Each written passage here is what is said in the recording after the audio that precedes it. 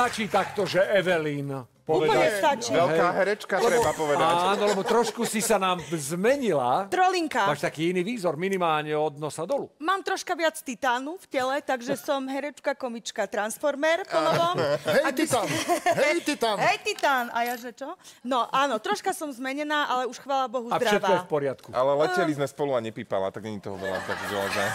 Nepípam. Ani nepípla, lebo Titan netýta. A tebe ten titán uh, umiestnili niekde sem.